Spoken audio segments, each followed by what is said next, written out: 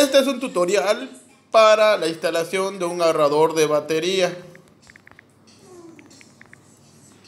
Escribimos ahorrador de batería en el Play Store, sencillo. Buscamos el que diga Kaspersky.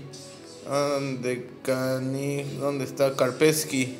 Le damos instalar. Revisamos cómo va la grabación. Creo que va bien. Este. Es muy sencillo de instalar, pero tiene su pequeño truquito para que esté funcionando eh, siempre, esté siempre activado. Y se los voy a enseñar cómo.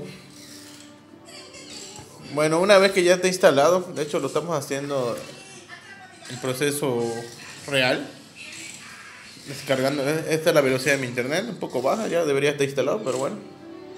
Una vez que se descarga Karpesky, o no sé cómo se diga, Battery Life eh, sí, le damos a abrir, ¿no? Pero eso no tiene... lo fundamental acá es ir en ajustes, ir a ajustes, ir a accesibilidad, buscar el carpet y aquí lo activas. Porque muchos lo instalan pero no lo activan y pues no funciona de nada, ¿no? Y cualquier programa, ¿eh? Cualquier programa que, que vaya al sistema, se le tiene que hacer eso.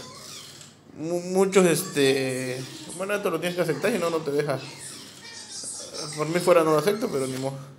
Este, muchos programas no funcionan correctamente porque no lo activa en accesibilidad.